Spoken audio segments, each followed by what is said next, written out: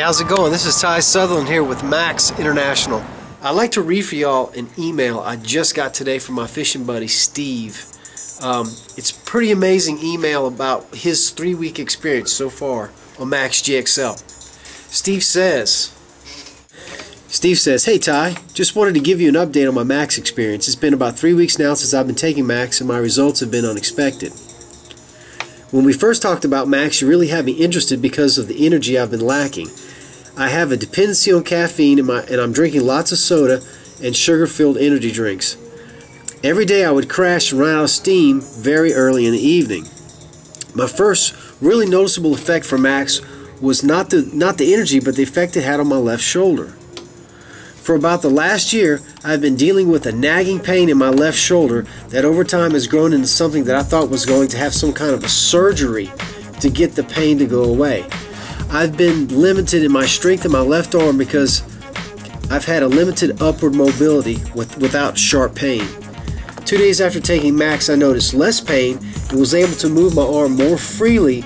After a week on Max, the pain was completely gone. It feels like someone used WD-40 on me. No pain whatsoever. Steve's funny. If that were the only result, it is worth every penny and then some. However, it was not.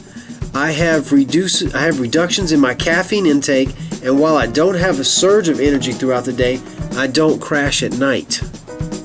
With coaching my daughter's softball team two nights a week, I feel like I do have the energy to get me through the day and sleep great all night.